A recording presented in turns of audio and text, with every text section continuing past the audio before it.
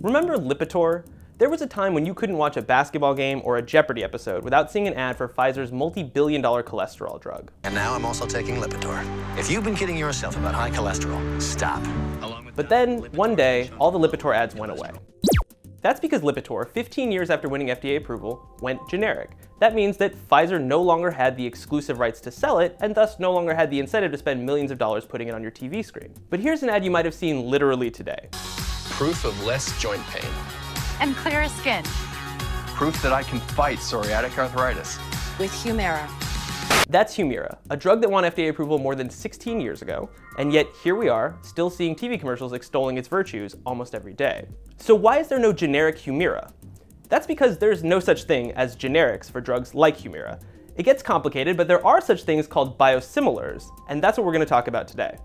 What household names like Lipitor, Cialis, and Claritin have in common is that they're pills, which means they're made up of chemicals that can be reliably and identically reproduced the very second that their patents run out. But drugs like Humira are different. They're part of a class of medicines called biologics. And unlike those pills we talked about, biologics are grown from actual living organisms, not mixed together from readily available chemicals. And that's why they can never technically go generic. Humira is an antibody grown from bacteria to mimic an actual human protein.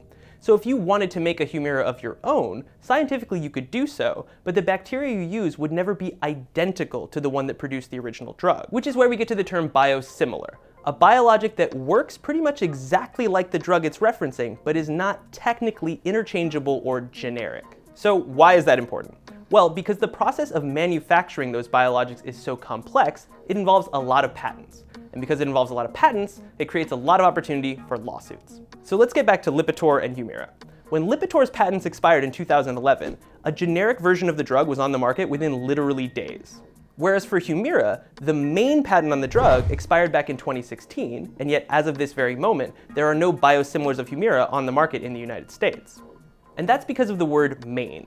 AbbVie, the inventor of Humira, has created what lawyers call a patent thicket. That means patenting the manufacturing process, patenting the liquid formulation of the drug, patenting how it's injected, and on and on and on. And because of that thicket, at least as things stand right now, it doesn't look like Humira is going to face biosimilar competition, at least in this country, until 2023, which of course is seven years after the main patent technically expired.